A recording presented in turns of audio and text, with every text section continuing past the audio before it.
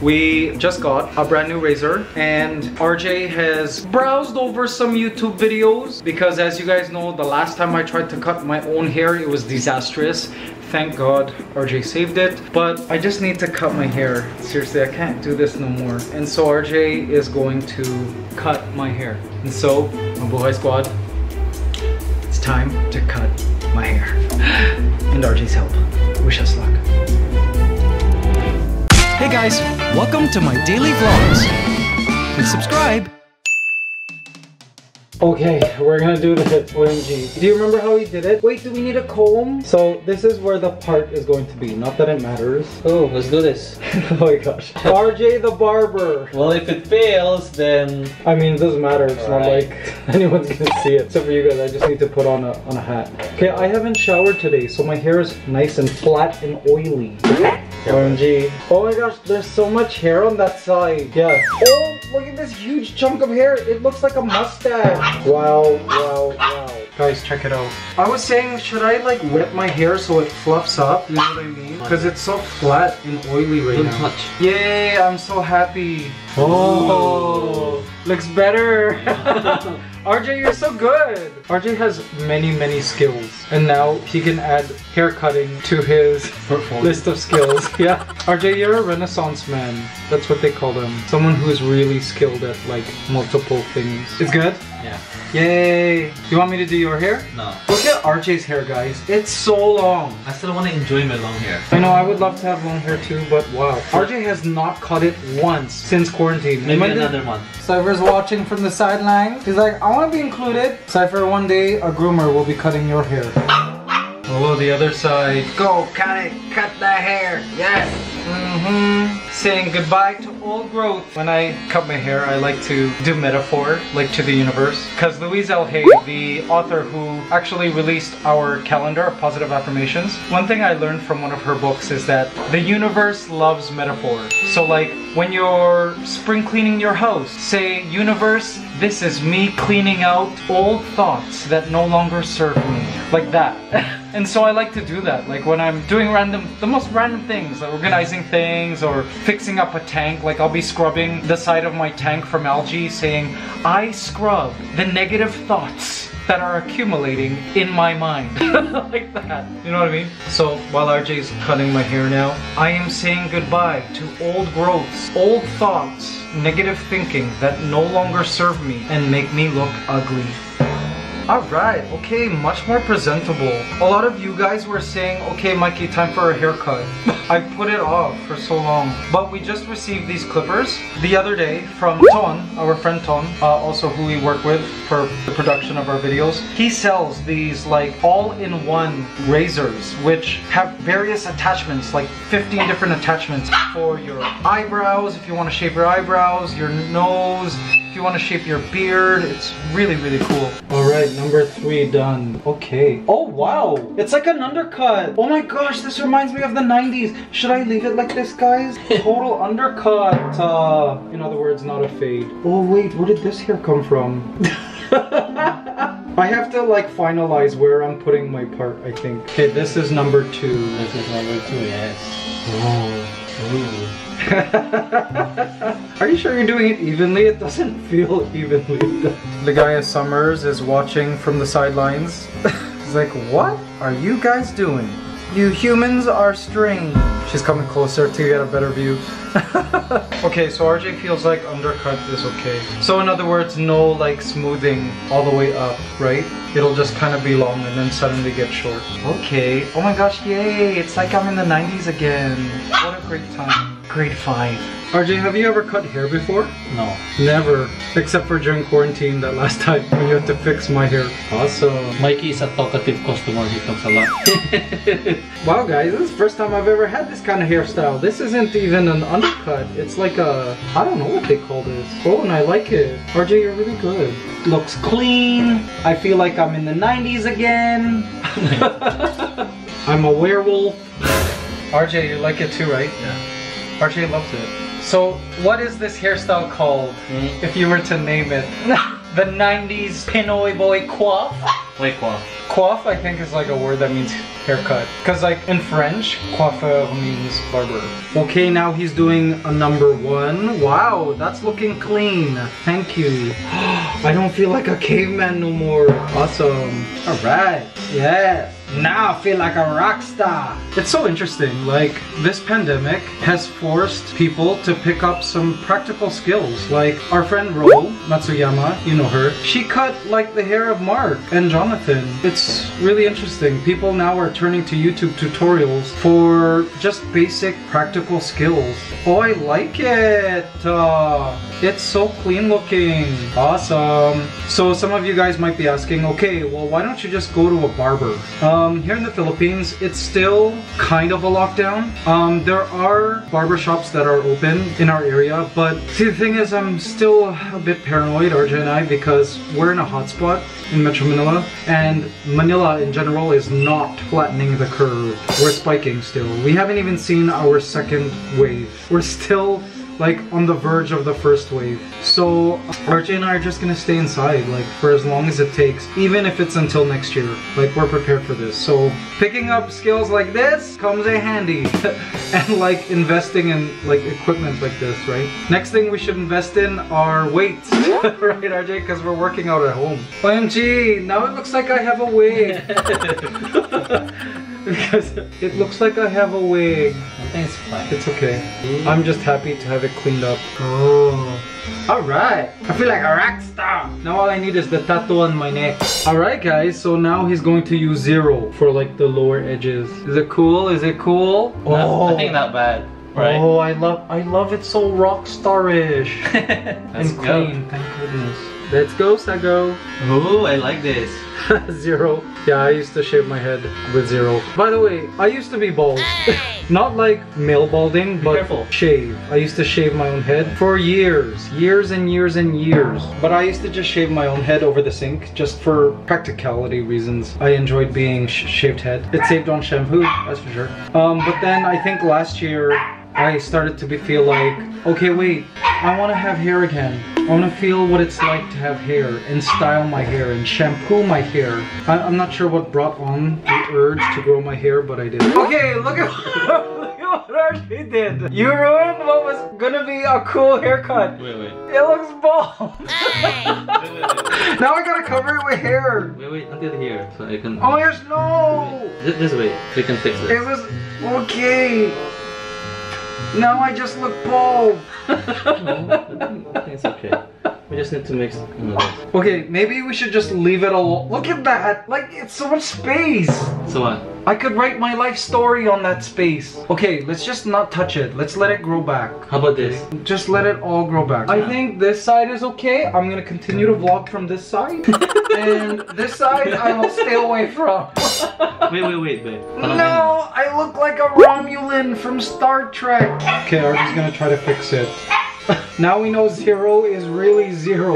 Like no hair. Okay, so what we're gonna do now is we're gonna cut that little part off so it's less obvious. Better.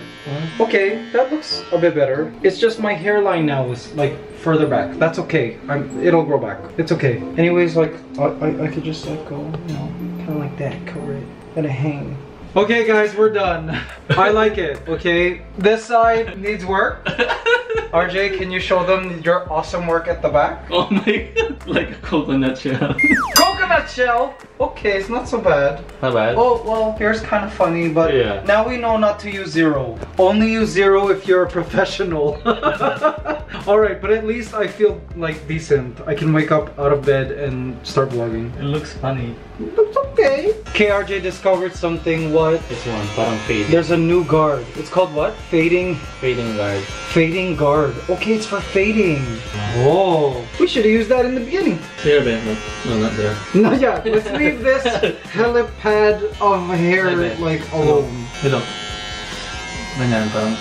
Oh, okay, okay. Oh. Yay, and we're done. I like that I can play with my bangs again. Like, see, I could style it different ways. I mess up with the zero, but It's okay. still fine. I mean, it's not like we have a music video to film or something. you like it? The, Show Mabuhay Squad. yeah, it's round. I would hope the back of my head is round. like watermelon. Watermelon. All right, we need to vacuum. So guys, this is a very big step in Cypher's life, I suppose, with us. For the very first time, we're gonna let Cypher sleep with the gate of his crate open. Now, usually we shut it and we put the crate up here so that he can wake us up at like 3 a.m. or whatever time he wakes up in the night to let him to pee. But because Cypher's been so good at peeing, see there it goes into the bathroom, and pooing in the right place, we feel like we're ready to give him that privilege of having his crate on the floor and with the door open. So in the night at like 3 a.m., 2 a.m., he himself can wake up and go to the bathroom by himself. We'll see if this works. Um, we'll see if, I don't know, there's like pee or droppings. He usually doesn't poo at 3 in the morning. He will pee very early in the morning. We'll see if there's pee around, but we're crossing our fingers and hoping that if he does have to pee early in the morning, he'll like secretly slip into the bathroom and not have to wake us up. Now you might be wondering, what's all the pillows for? We do that because air conditioning's kind of cold and we're just afraid that he might catch a draft or something. Um, and it looks kind of cool, right? It's like a cave, you know what I mean? Trying to build on that like denning instinct of dogs.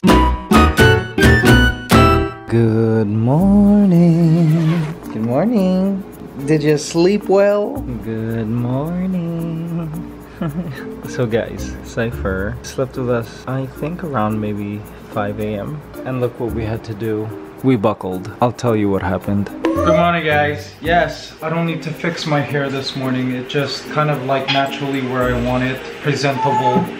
Good morning. How are you guys? So last night we were supposed to go through with our plans to have Cypher sleep on the floor with his crate on the floor, crate open, and see if he would go in the bathroom. Turns out he woke up and we were like, yay, he's gonna pee. He did pee, but then um, he came on our bed and we're like, okay, so I tried putting him back in his crate. He didn't want to go back to his crate, so I'm like, okay, why don't we just let uh, Cypher like sleep with us like we usually do before bed, and then when he's asleep, we'll put him in his crate. But the dog didn't want to sleep. He didn't sleep. He kept trying to go to the viewing deck, like right by the window. And then I realized, oh, he's so used to sleeping in his crate by the window. So then we buckled because he wasn't gonna sleep in his crate on the floor. So I put the crate back where we usually keep it, up on the viewing deck, put the pillows all around it, and put Cypher inside. And he still wouldn't go to sleep. And I look at him and he's sniffing the gate as if he's like, okay, this is not right. This should be closed. So I closed the gate, locked it, and then he went to bed. He's so used to sleeping in his crate with the door closed by the window. It's like he doesn't want it any other way now. But RJ and I have been talking about it and we changed our mind. We're okay with Cypher sleeping upstairs with us. So what we might do is we'll have Cypher in his crate, sleep in his crate with the gate closed in our room. And I mean, we are just gonna have to keep letting him go pee at 3 a.m. in the morning until he's able to actually hold his pee through the night, which he does every now and then. We know it's possible, but I mean, he's a puppy still, so um, we're willing to make that sacrifice. And we're thinking ahead too about the Mabuhay Squad farmhouse. We are okay with him sleeping in our room and possibly other dogs sleeping in our room, just maybe not on our bed. In their own crates in the room, so we might do that. Plans are always changing, right? Welcome to parenthood. Okay guys, positive affirmation for Tuesday, August the 4th. I open my arms to receive the full measure of prosperity that the universe offers. Ooh, I remember doing this when I first learned about positive affirmations, and I think I actually learned it from Louise L. Hay, who wrote this calendar. Like literally outstretching your arms and like saying to the sky, I'm ready to receive all the prosperity and blessings that the universe offers. I recommend you guys do that too. It looks silly if someone's watching you. and hears you like talking to the sky, but it just is great. And if God is your definition of what the universe is here, see it's a capital U, say God. God, I'm ready to receive the full measure of prosperity that you have to offer. There you go, guys. Enjoy.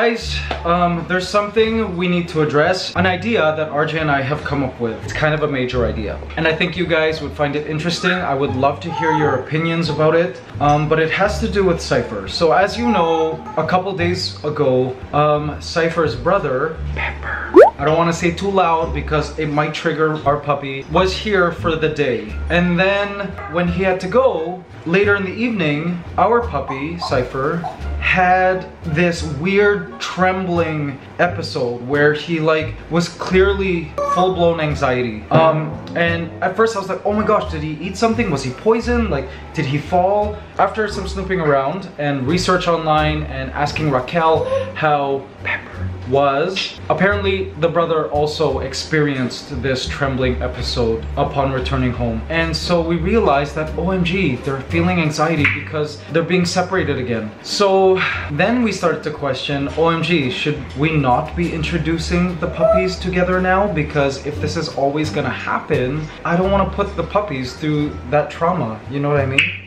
and more so that they were the only two in the litter. There was just two of them. So they were completely bonded. And one thing RJ and I are noticing, even two days after their separation, something's a little off with Cypher. He's not 100% himself, you know what I mean? He's kind of like a little less energy. We find him, especially in the night, he's looking around for who we believe to be Pepper. So it's clearly still affecting him. You know what I mean? That his brother is gone. Um, he might have somehow forgotten that over the past month that he's been with us. Um, but now it's like fresh in his memories. So RJ and I have been talking Mabuhay Squad.